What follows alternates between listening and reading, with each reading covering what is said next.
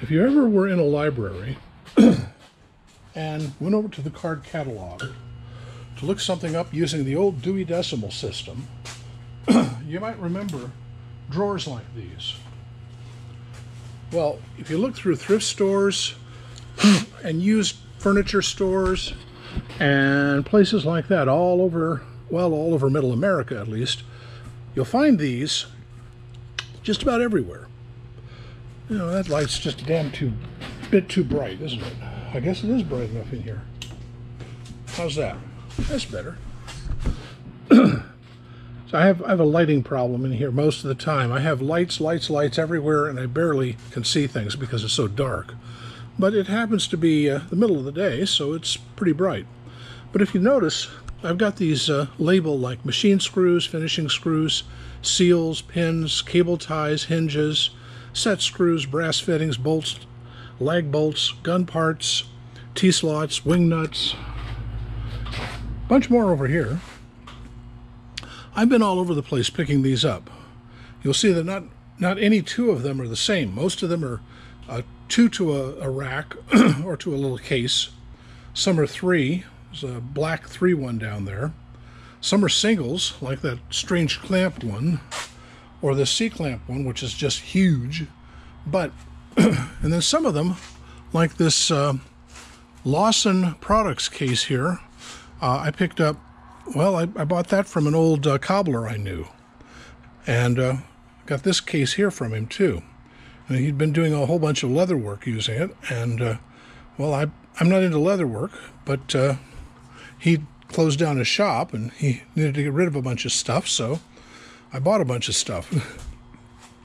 anyway, I do that. Then I also go and buy, uh, like, see the Stones box down here? Well, that's a, uh, oh, come on, thing. How come you do that to me? There.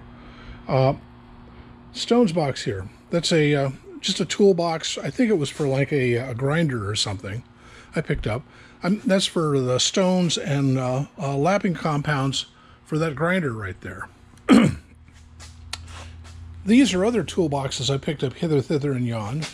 And I put things like, oh, that's my wheel pullers and so old socket sets, pipe wrenches, various tools I don't have a place for in other places. This one, well, it started out as a, as a well, heck, heck I don't remember. I bought this at uh, Cherry City Salvage and had to restore it. it was in lousy shape. You'll notice it has a different handle here because I had to replace one of the handles.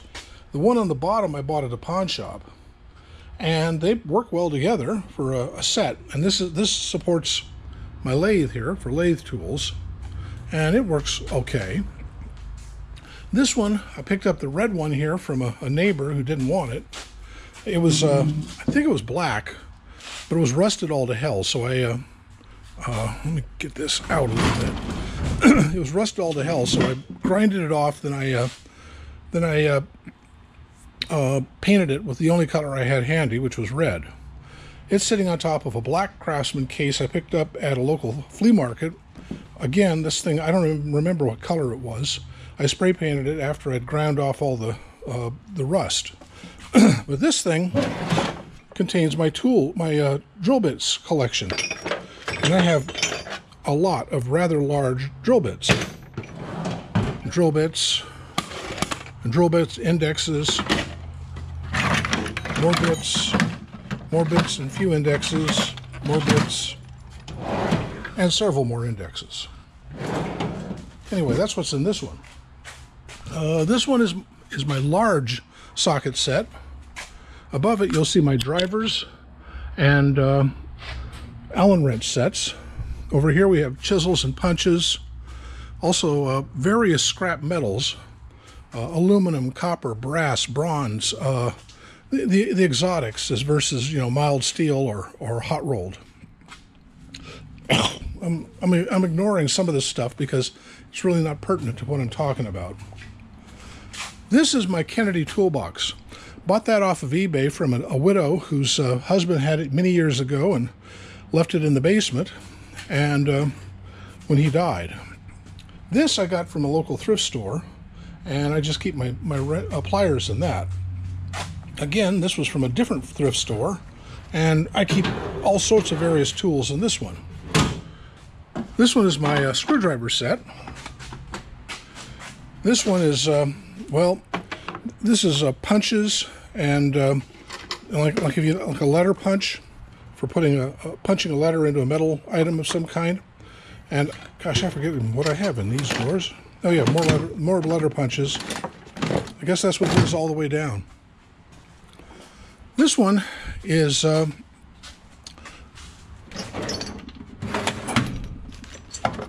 milling tools for my mill and my mill.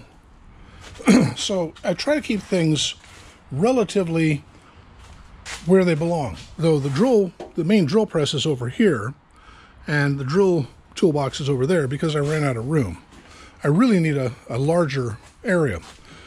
This, what looks like a, uh, a welding uh, cart, well, actually, I think it was a welding cart.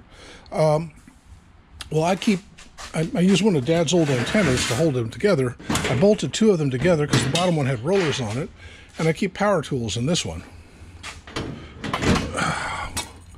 that antenna back and through bottom hole. Oh, not the heck with it, I'll get it later. Anyway, that's my arrangement for tools of various kinds.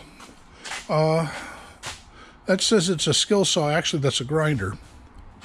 Uh, I flat forget what's in those ones. I think they're they're empty. I know these ones are empty down here.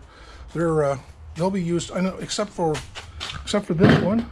This one contains planes. I'm not really into planes, but they are gorgeous, so I thought I'd better hold on to them. Anyway, that's my tools.